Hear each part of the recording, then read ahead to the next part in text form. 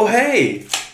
Welcome back to Petros Station. It's always a pleasure to welcome you back to my channel. I hope you're all well. I hope you're all enjoying the end of the summer because it's been a really hot summer here in London. So, as you can imagine, no air conditions, carpet, you know, it's been tough. Anyway, what I wanted to talk to you today was about uh, why you should download iOS 16. So if I've timed this right, then uh, by the time that this video is available, iOS 16 would have come out. Fingers crossed that my calculations are right because um, I record the video, then I have to edit the video, which takes days. So anyway, you don't want to hear about that. You want to hear more about the subject in hand, which is iOS 16, Apple's new update for iPhones, iPads, HomePods, and the Apple TV as well. And basically what Apple does is they release these updates first to developers, then to the public, but still as a beta. And then once everything is ready, everything has been fine tuned and any bugs sorted, then it gets available to the public. I was super excited about iOS 16. That's why I took part in the beta program to uh, see what was coming. And I've got to say, the updates, they weren't buggy at all. I think my iPhone crashed once and it was just a case of uh, rebooting it. That's why I think that this uh, public release is safe in, in, in all honesty. I've, I've never encountered any of the major updates having major issues. That being said as well, uh, updating is always important because of new uh, security threats. There's been a lot that's come out from Apple recently. That's why I always like to keep my phone up to date. And who doesn't like new features, right? So uh, let's get into um, why I think you should download uh, iOS 16 and its new features. So the first thing I'm going to talk about is the lock screen. Now, um, I know this seems like a really basic feature, but it is super fun.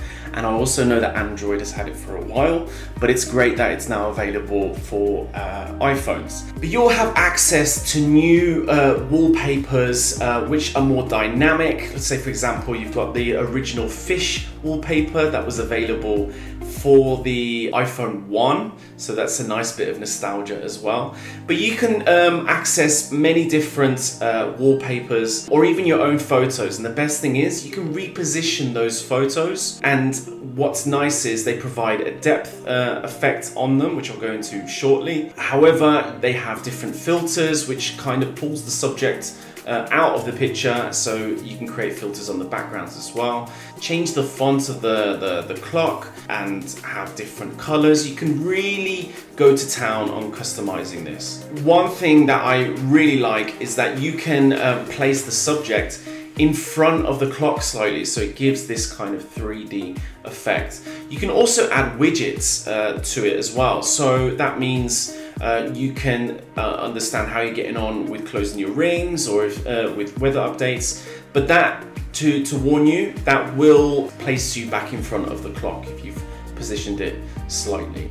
So if you want to be positioned again um, behind the clock, you have to turn the, the widgets off. And the great thing about this update is that notifications now appear at the bottom of your lock screen. So then if you just tap on them, it will then expand them. So then, so the wallpaper that you choose um, can be unobscured by uh, notifications that you've received. So in iOS 16, you also have new focus features. Focus was brought in uh, with iOS 15, but now they're more dynamic. So if you create a new focus, uh, targeted around a certain uh, activity, you can select different people or different apps to um, only notify you during this time.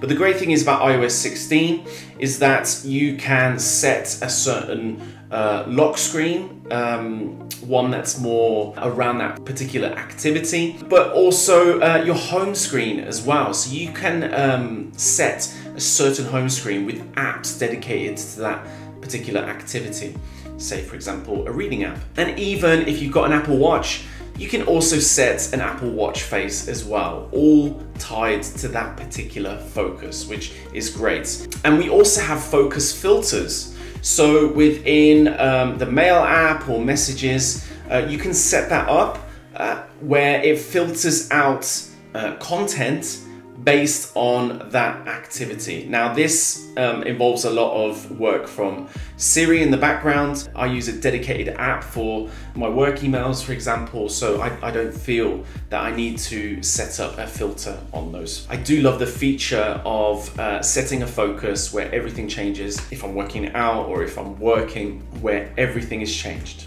The Messages app so the Messages uh, app has received a lot of changes as well. Something that's been we've been waiting for for a long time is the ability to edit your own messages that you send. Once you send a message through the Messages app, you have the ability to edit messages within 15 minutes of sending. So if you want to correct something, you can uh, edit the message and the recipient will only see the edited version. You can even delete messages if you sent something you really didn't want to send out.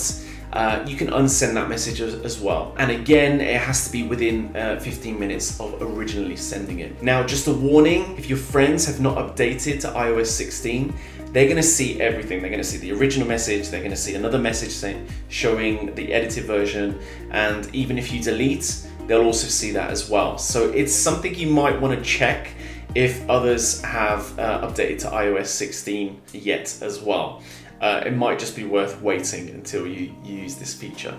But uh, I think it's a really useful feature um, and uh, once I'm very sure that everyone else has updated, uh, I, I, might need to use it as well. And also there's new emojis as well. I really enjoy the emojis. I think they add a little bit of character because they look like you. I like to think mine looks like mine. But um, there's a lot of uh, new Memoji icons available now, and my favorite is this one. Next up, we've got the Health app. There's uh, a lot of new information within the Health app, including the opportunity to add any medications that you take. So the idea is that you can add those medications uh, in and it can you can set up a reminder to take those medications. Another useful feature is if you have to take a lot of medications, it will show you if there's any interactions as well. I haven't tested this, but I think this will be better for people that are a little bit older that have to take certain medication. Now, the Photos app has received uh, a lot of new features. First of all, we've got the iCloud shared photo library. So you can create an entire library that's shared between certain individuals, whether that's friends or family. Now, the whole idea of this makes me nervous, um, but it depends on the types of the types of photos uh, you've got. But the great thing is um, you can um, decide to share all your photos, just certain photos, or e even add your own as you go along. And that's a great feature for a family. You've been on a trip and you want to share all your photos there. So I think um, that's a really good idea. Another great new feature is uh, the ability to copy edits that you've made to a certain photo. So you can copy those same edits to multiple different photos. Um, you just simply go in, um, make the edit, and then there's an option to copy edits, and then you can select all the photos that you want, um, and then paste those edits on them. And if you feel you want to reverse everything, you can simply um, select those photos um, that have been uh, edited, and then there's an option to undo the edits. So that's another, another great feature. Another amazing new feature is the hidden and recently deleted folders in your Photos app are now protected, whether that's by passcode, Face ID, Touch ID. I think this is amazing and so useful. So now anyone that's on your phone, if you've got nieces and nephews and they're moving around, they won't be able to go into those very private pictures. Another cute feature that uh, I love is the ability to copy the subject within uh, a picture. So when you hold down on uh, the subject within a picture, whether it's a dog or a person or whatnot, thanks to iOS 16, it crops the person with such fine detail as well, more than you could with uh, a manual way of cutting the person out. And you can share this with friends and family, and you can paste uh, this selected area uh, in many different apps. I know at the moment, um, Instagram and WhatsApp, it just shows as the, the subject with a black background, but I'm sure they're gonna update soon now that this has come out.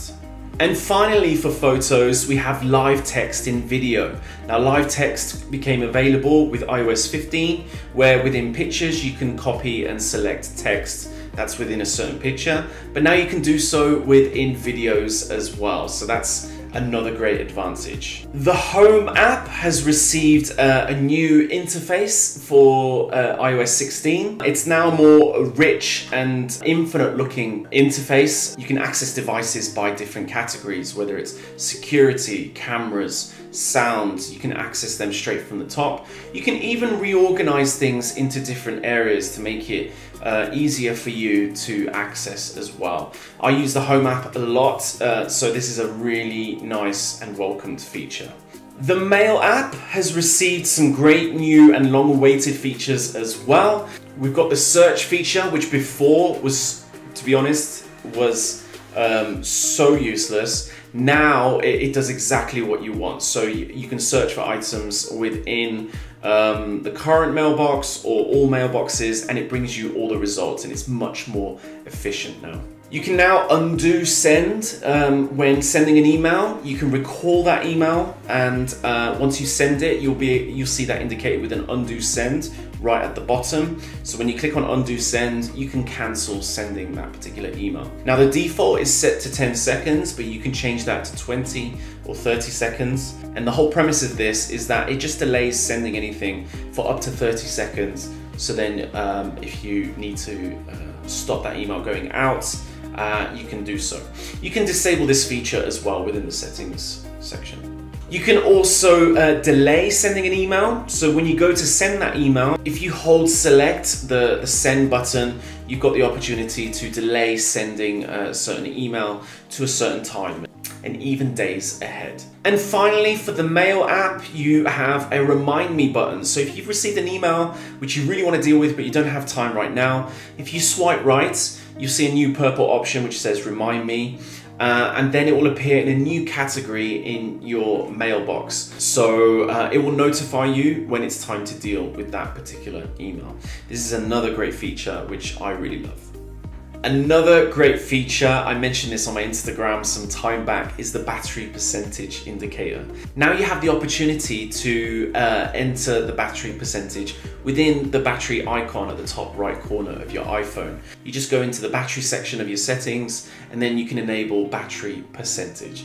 It's a really cute thing which I thought I'd be really uh, anxious about um, as soon as it gets low, but uh, it's just a super nice feature which I really enjoy. And finally, but no means least, is my favorite uh, new feature of iOS 16. It sounds stupid, but it, it, really is my favorite because it changes the way I feel my phone, is the haptic keyboard. To enable this, you just go into sound and haptics within the settings and then enable haptic keyboard. And this means that while you're typing to a friend uh, or writing an email, anything, using the keyboard, you have little haptic vibrations, which um, it makes your phone feel much more 3D to yourself. It's, it's a weird sensation uh, I got used to really quick and now, now if I use someone else's phone to type something, their phone feels dead to me.